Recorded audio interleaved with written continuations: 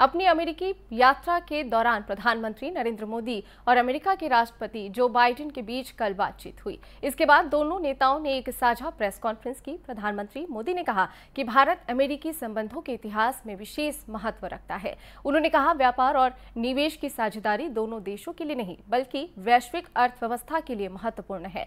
उन्होंने कहा कि आज अमेरिका भारत का सबसे बड़ा ट्रेड पार्टनर है और हमने ये निर्णय लिया है कि व्यापार से जुड़े लंबित मुद्दों को समाप्त कर नई शुरुआत की जाएगी।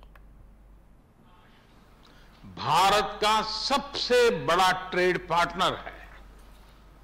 हमने निर्णय लिया है कि व्यापार से जुड़े लंबित मुद्दों को समाप्त कर नई शुरुआत की जाए।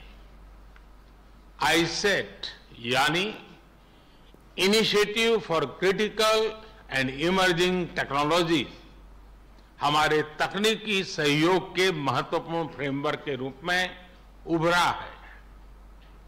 Artificial intelligence semiconductors space quantum और टेलीकॉम जैसे क्षेत्रों में अपना सहयोग बढ़ाकर हम एक मज़बूत और फ्यूचरिस्टिक साझेदारी की रचना कर रहे हैं।